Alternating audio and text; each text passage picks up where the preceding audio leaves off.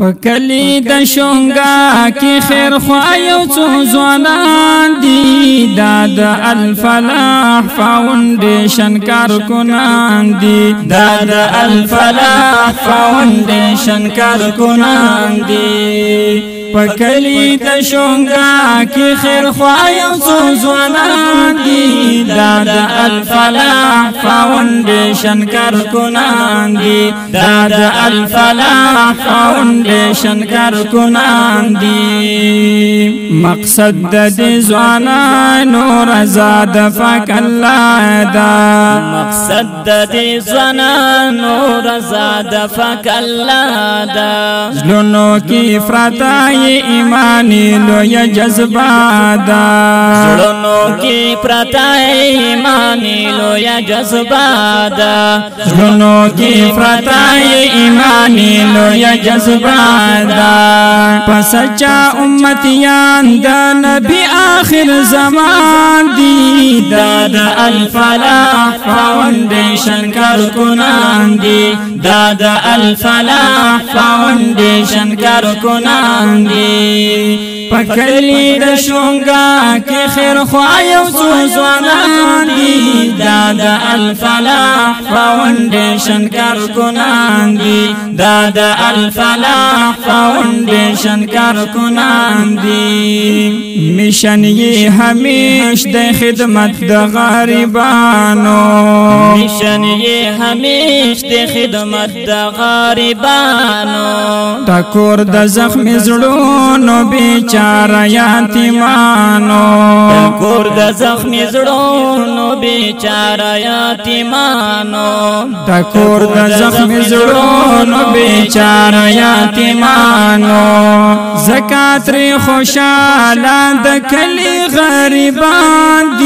دا دا الفلاح فاونڈیشن کارکنان دی دا دا الفلاح فاونڈیشن کارکنان دی پکلی دا شنگا کی خیر خواهی و سوزوانان دی دا دا الفلاح فاونڈیشن کارکنان دی دا دا الفلاح فاونڈیشن کارکنان دی نشته پزړونو کې د چان لالچونا نشته پزړونو کې د چان لالچونا نه لچان غواړي د ځانونو صفاتونا نه لچان غواړي د ځانونو صفاتونا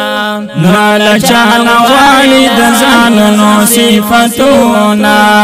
په هغه پرشتہ دوی په قدر د انسان دی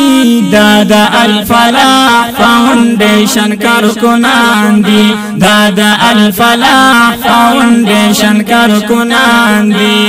پکلی د شونګه کې خیر خوایا سوزوانان دی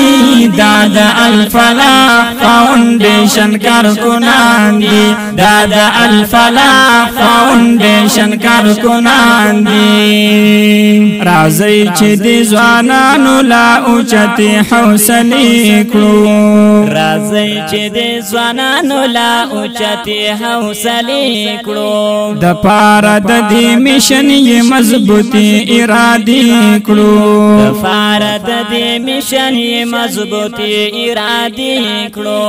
د پاره د دې مشن مضبوطي ارادي کړو دوی د ناقرار خفزلونو دردمان دي دا د الفلاح فاونډیشن کارکنان دي دا د الفلاح فاونډیشن کارکنان دي په کلی د شونګا کې خیر خوای او سوزوانان دي دا د الفلاح فاونډیشن کارکنان دي دا د الفلاح فاونډیشن کارکنان دي دی اے اظہار دا خلق قابل د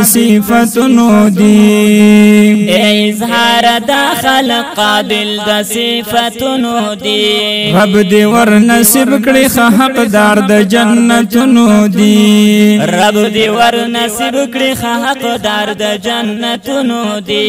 رب دی ور نصیب کړي دار د جنتونو دی توحید یار فرمان الله باندې ګران لخپل ځان دی دادا الفلاح فاونډیشن کار